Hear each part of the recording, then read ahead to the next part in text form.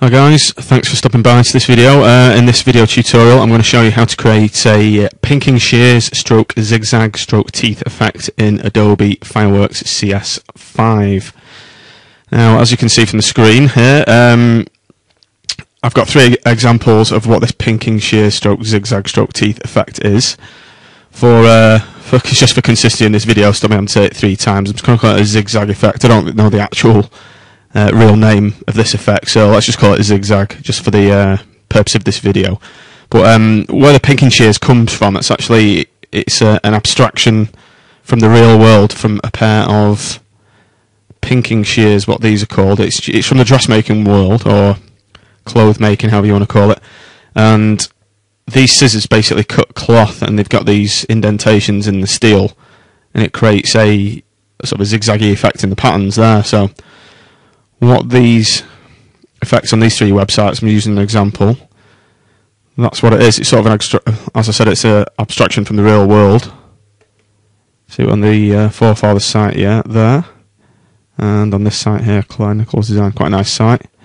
And she's gone for the sort of cloth abstract effects there with stitching and a nice texture on the uh, graphical element itself. So as you can see, this effect's used to sort of divide up sections of a website, and it seems to be quite common at the moment, and it's quite a it's quite a nice effect. So I've decided I'm going to teach myself how to do it in Fireworks, and also I'm going to show you guys how to do it and how how I came about to do the uh, the said effects. Right, so without further ado, let's get on with it.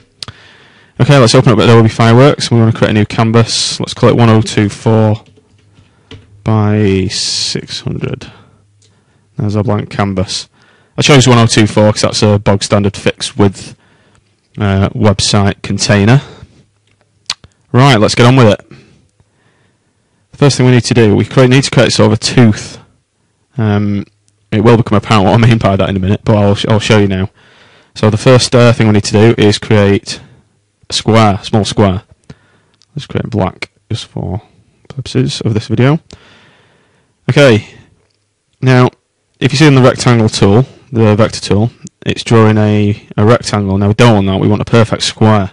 So just to constrain the dimensions of the uh, vector into a square, we just hold down the shift as I did then.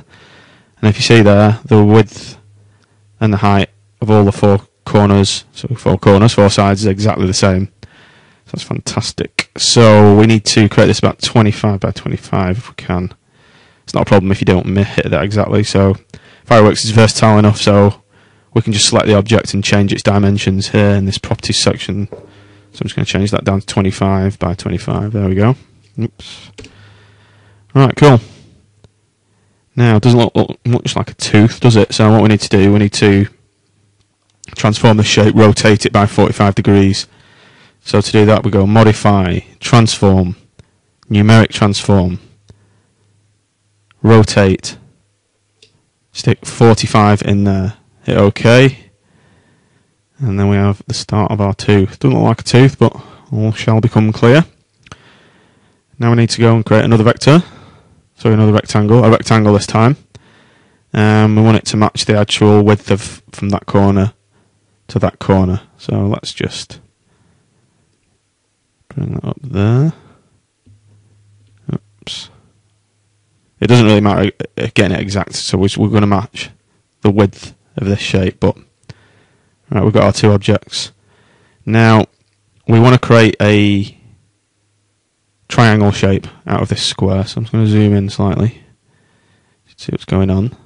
We want to select the four corners. So to do that, we go subselection tool, click the vector, and if you see here, we've got four points selected.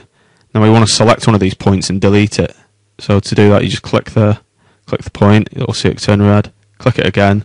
Now you may get a a dialog prompt saying, "Are you sure you want to flatten this flatten this uh, shape?" and uh, something like that. Anyway, but if it does appear, just hit OK. And there also is a, a tick box saying, "Don't show this again." So if you do do you want to tick that, hit yeah, do tick it. It's quite annoying that little uh, dialog box. So I've turned that off anyway, so you might not see it. Anyway, back to the back to the uh, tutorial.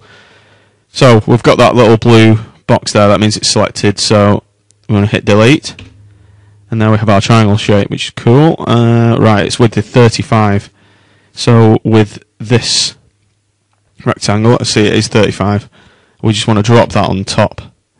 Um, if you can see these smart guides, those purple stroke pink dotted lines appearing, these are really good. I think it's a useful, a useful introduction in CS5 where I think they're called smart guides, where it'll guide objects so they line up perfectly with each other. It's a really good, really good addition to the uh, fireworks tool there. So don't need to do anything more of that. It's uh, let's look at it in.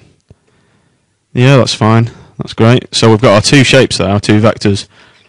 Now we need to join these together. So if you see it's two separate shapes at the moment, so we want that to become one single vector. So to do that, we select both. Um, again with the subselection tool, just draw a selection around it. There we go. And we want to combine, use the combine paths tool. There's several ways to do this. Um, we'll just use this, the, the path, the path. Uh, I don't know what these things called, palettes, whatever they're called. Um, if you haven't got that open, you can just go to Window. I think it's in Others. Yeah, it's in Others, and then Path. You may not have that open, so you may need to do that. So once you have that open, anyway, so oops, we've lost our selections. You just need to hit this one there, which is Union. Uh, click the button, and if you see, it's now one shape. Great, that's what, exactly what we need. Now we're going to duplicate this section, so this vector, and to do that, you simply go Control C and then Control V. And if you look at the layers section, you'll see a new vector appear there. Um, with either of these, you can you need to move one across. So select one of the objects, hold down Shift, and press the right arrow key, and it'll nudge it across. Sort of in jump. I think it's in increments of five. If you don't hold Shift, it does it one at a time. So holding down Shift just makes it a bit quicker.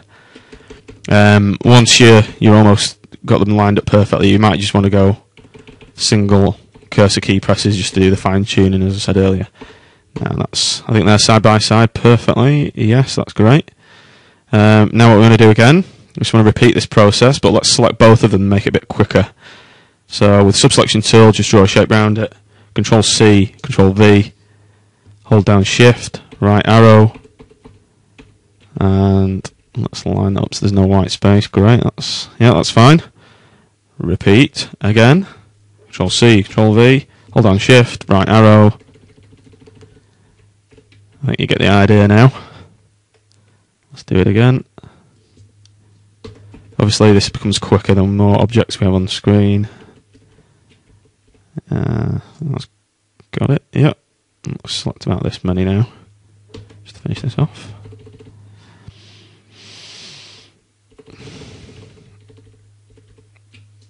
Right, there we go. Let's just get rid of these. We don't need these. They're superfluous.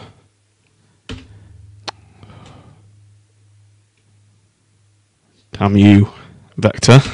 There you go. Alright, great. Now we have the bottom half of our shape that we're looking to create. Now if you see here, we, uh, we do have a lot of paths.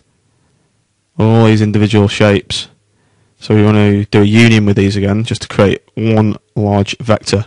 So again, subselection tool, just draw. Oh, need a bigger graphics tablet. Try again. There you go. Right, we're, we're going to do the uh, union again. I'm just going to show you an alternative way to do this uh, via the menus. You can do these, perform these actions several ways. So we're going to go, right, where's this again? It's modify, combine paths, union. Boom. There we go.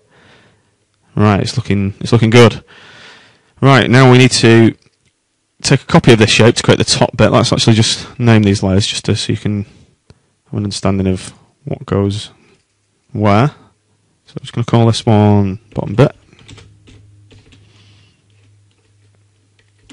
There we go.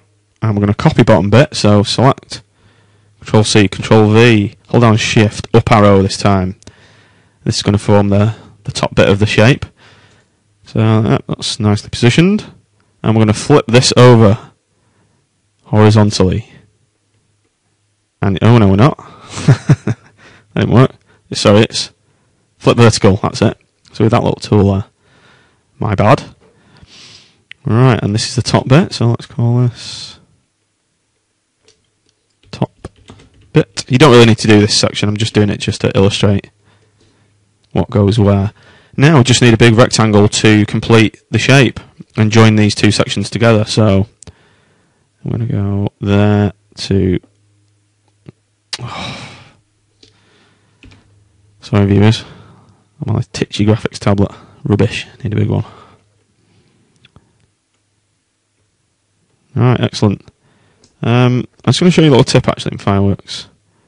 You don't always, it doesn't matter if you don't draw the correct shape, as I said before. Um, with this properties inspector tool, it's really good. I'm just going to show you. Right, so we need this rectangle here to be the same width of the top bit and bottom bit. So that's 910.